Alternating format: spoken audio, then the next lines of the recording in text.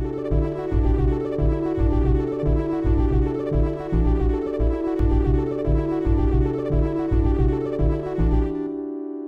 O segundo Congresso Internacional Línguas, Culturas e Literaturas em Diálogo vai discutir a exclusão de povos como índios, mulheres, negros e imigrantes. A ideia é entender como o silêncio dessas minorias interfere nas relações em sociedade. Quem se interessar deve enviar um resumo do trabalho para os coordenadores do simpósio até o dia 1 de março. Os temas estão no site que aparece aqui na tela. O congresso será nos dias 16, 17 e 18 de agosto aqui na UNB. A taxa de inscrição para estudantes de graduação é de 50 reais. Para alunos da pós, o valor é de 100 reais. Este foi mais um Informe UNB. Continue ligados em nossa programação.